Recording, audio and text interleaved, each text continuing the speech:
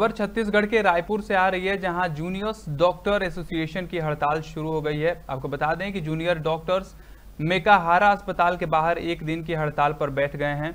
यह हड़ताल कलकत्ता में ट्रेनी डॉक्टर के साथ हुई बर्बरता मामले पर जूनियर डॉक्टर्स के गुस्से का प्रतिबिंब है।